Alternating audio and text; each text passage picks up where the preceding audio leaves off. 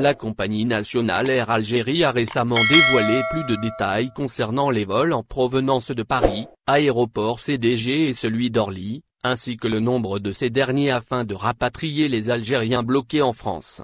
Vous n'êtes pas sans savoir que depuis le 17 mars dernier les compagnies aériennes notamment, Air Algérie, se sont vues contraintes d'arrêter leurs vols. L'arrêt s'était imposé en raison de la crise sanitaire du coronavirus qui a causé la fermeture des frontières du pays. En conséquence, il fallait bien procéder à vol rapatriement en Algérie, comme ceux depuis l'aéroport de CDG et celui d'Orly à Paris. Cela dit, après des mois d'inactivité, nous apprenions récemment que les vols de rapatriement au départ de Paris qui ont pris effet le 23 décembre dernier allaient se poursuivre jusqu'à la fin du mois de février. En effet, selon le média Jalia DZ, Air Algérie va opérer un nombre de vols précis afin que tous les citoyens algériens bloqués en France puissent être rapatriés dans notre pays le plus tôt possible.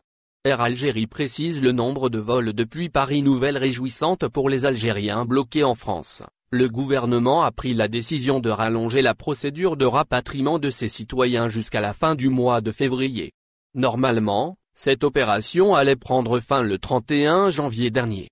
Il n'y avait jusque-là aucun détail fourni concernant le nombre de ces vols. On ne savait pas peu d'eux. On n'était alors pas au courant de grand-chose à part le fait qu'ils allaient s'effectuer au cours de ce mois. À présent par contre, le média spécialisé Jalia DZ vient d'annoncer le nombre de vols que prévoit Air Algérie. Il y aura au total trois vols programmés tous les jours de la semaine. Deux vols au départ de l'aéroport d'Orly. Il est aussi question d'un vol depuis l'aéroport Roissy-Charles de Gaulle, CDG. Le média Visa Algérie a rapporté par ailleurs qu'Air Algérie sortira ses appareils les plus imposants en matière de taille pour l'occasion. La compagnie aérienne va utiliser de gros porteurs afin de mener à bien ses vols. Quid de l'inscription? Toutefois, il est important de préciser que toutes les personnes concernées doivent être appelées et inscrites. Elles doivent effectivement faire l'objet d'une inscription sur les listes de rapatriement.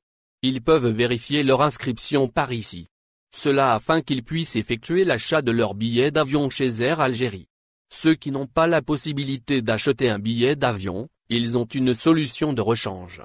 Ils sont capables de faire appel à une personne de leur entourage ou bien un membre de leur famille afin qu'ils puissent faire l'acquisition d'un billet d'avion. Il leur sera par la suite envoyé par voie électronique. Merci de vous abonner à la chaîne et n'oubliez pas d'aimer la vidéo et cliquer sur la cloche pour recevoir toutes les nouvelles.